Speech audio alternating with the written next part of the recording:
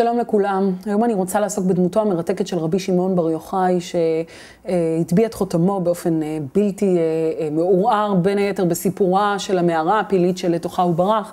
ואני רוצה היום להתמקד קצת יותר בסיפור בריחתו של רבי שמעון בר יוחאי אל המערה. רבי שמעון בר יוחאי בורח על המערה ביחד עם בנו רבי אלעזר, לאחר שהרומאים שומעים שהוא יצא כנגדם. הוא יצא כנגדם אגב שיחה עם עוד שני תנאים בני דורו, האחד הוא רבי יהודה, רבי יהודה בר אילאי, השני הוא רבי יוסי, וביחד יושבים אותם שלושה ומדברים, דנים במעשיהם של הרומאים. ופותח רבי יהודה ואומר, מה נעים מעשיהם של אומה זו? זוהי האומה הרומאית, תקנו שווקים, תקנו גשרים, תקנו מרחצאות. רבי יוסי שותק, חשוב לחדד שלו היה לרבי יוסי, לו לא היה לרבי יוסי מה לומר, הוא לא היה מופיע במדרש הזה. השתיקה של רבי יוסי היא שתיקה רועמת, יש בה הבעת אמרה, אבל אנחנו נשאיר רגע את שתיקתו בצד. ונענה רבי שמעון ואומר, כל מה שתיקנו הרומאים לא תיקנו אלא לצורך עצמם. תיקנו שווקים להושיב בהם זונות, מחצאות לעדן בהם עצמם, קשרים כדי ליטול בהם מכסים, ויושב איתם עם שלושת התנאים האלה יהודה בן גרים, חשוב לחדד, יהודה בן גרים היה תלמיד חכם, היה תלמידו של רבי שמעון בר יוחאי.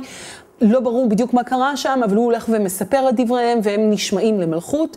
ואומרים שם, אה, אומר לו הקיסר, שמעון שגינה יהרג, יהודה שאילה יתעלה, יוסי ששתק יגלה לציפורי, אה, שמעון שגינה יהרג. ושמעון, רבי שמעון בר יוחאי, צריך כעת לקחת את בנו ולברוח, לברוח מפחד הרומאים. והשאלה לאן לברוח. והאגדה מספרת שרבי שמעון בר יוחאי לוקח את בנו רבי אלעזר, אבל בניגוד לתפיסה שכולנו נגועים בה עוד מגן תום תום חובה, לפני שהם אה, מגיעים אל המערה, רבי שמעון ובנו עושים איזשהו עיקוף קטן דרך בית המדרש. הם בורחים לבית המדרש, והאגדה מוסיפה לנו המון פרטים. היא מספרת לנו שכל יום הייתה אשת רבי שמעון מגיעה ומביאה להם לחם וכד של מים.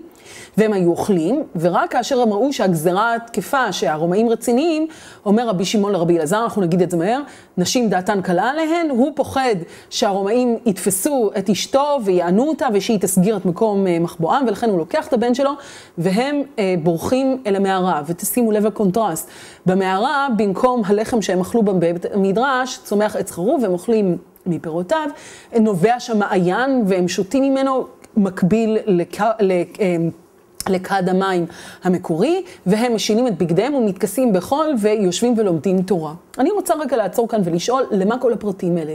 למה זה בכלל מעניין אותי איפה רבי שמעון ברוך היה לפני שהוא הגיע למערה? למה זה חשוב לי מה הוא אכל ומה הוא שתה?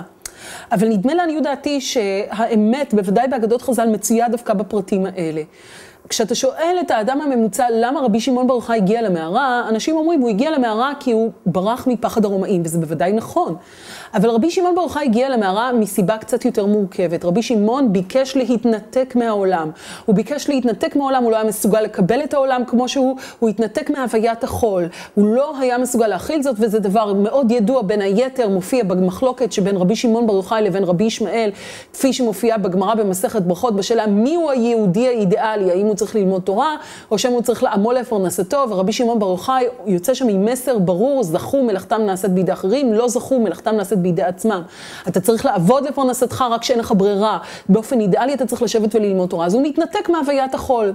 התנתקת, התנתקת, אבל כשברחת, ברחת לבית המדרש, ומי בנה את בית המדרש אם לא בני האדם שכנגד הפיתוח הטכנולוגי שלהם אתה יוצא.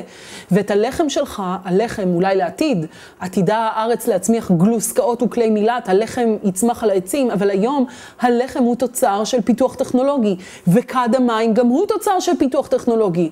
אי אפשר גם וגם, אומר רבי שמעון, צודקים, צודקים, אני הולך למערה. את המערה כבר לא בנה האדם, ועץ החרוש ממנו אני יכול אפילו לא ניטע על ידי אדם. והמים באים באופן טבעי. התנתקתי לחלוטין מהוויית העולם כדי לחוות קדושה באופן האידיאלי שאותו אני מכיר ובו אני דוגל. בעיניי, המסר הזה של רבי שמעון בר הוא מסר מהמם.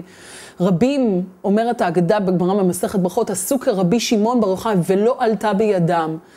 כרבי שמעון מסביר החתם סופר, אבל לא רבי שמעון עצמו. כל כך הרבה אנשים אומרים שתורתם אומנותם, שהם הרבי שמעון בר יוחאי החדש.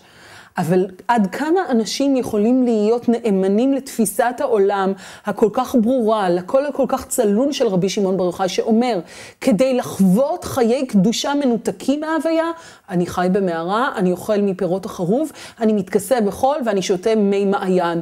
זוהי תמצית תפיסתי. אגב, גם מתוך אותה מערה יוצא רבי שמעון בר יוחאי, שזה נושא לדיון שלם בפני עצמו. אבל עצם המסר הזה בעיניי הוא מהמם, לא פחות ממהמם, בדור שבו אנחנו חיים.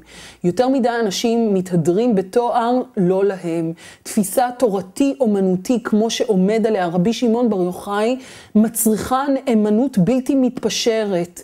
בלתי מתפשרת, הליכה עד הסוף עם דרך חיים סגפנית של הרבה מאוד ויתור אישי. על החיים עצמם בשל אידאל של לימוד תורה. וזה דבר מעורר השתאות שלא תמיד אנחנו זוכים לראות בעידן שלנו. אני חושבת שהמסר של רבי שמעון בר יוחאי לחיינו אנו מאוד חשוב ומאוד חיוני. אתה אומר משהו, אתה מאמין באידיאולוגיה מסוימת, תחיה אותה עד הסוף, אחרת אין טעם לאמונה הזו. כל טוב.